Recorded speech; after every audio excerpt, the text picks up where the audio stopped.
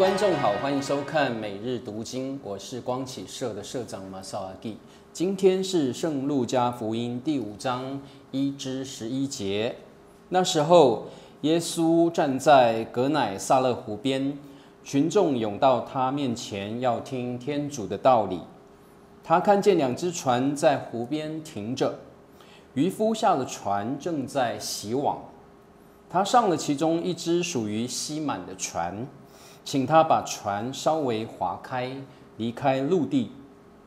耶稣就坐下，从船上教训群众。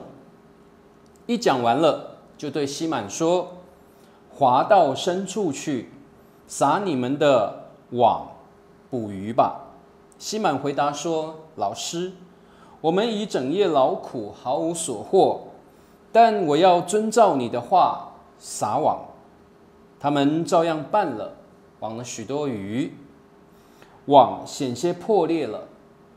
他们遂招呼别只船上的同伴来协助他们。他们来到，装满了两只船，以致船也几乎下沉。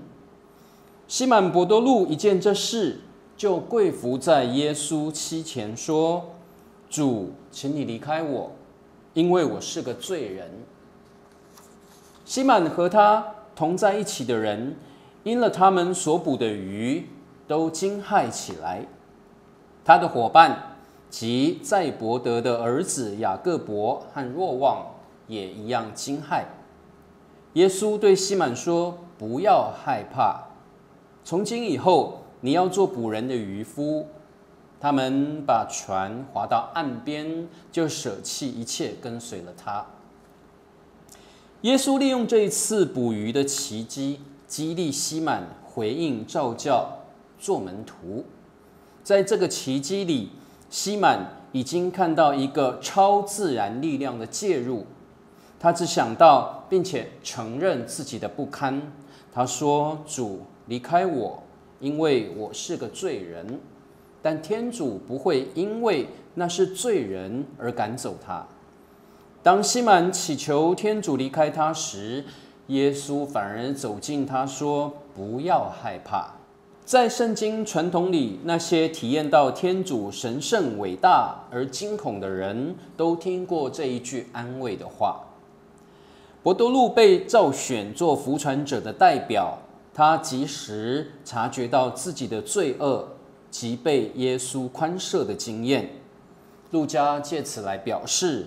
撒加利亚赞歌的预言已经开始应验了，而耶稣培育服传者，就是要他们明白天主对他们的慷慨、接纳和爱，使他们亲自经验罪恶得宽赦，好能真正的认识救恩，以后才有力量传扬这喜讯，拓展天主国的自由和团结。路加由此开始一连串耶稣赦免人罪的故事。西满伯多禄和他的同伴，尽管有着各种软弱和缺点，都被邀请去信赖这位圣言，并且领受使命，将圣言广传发扬光大。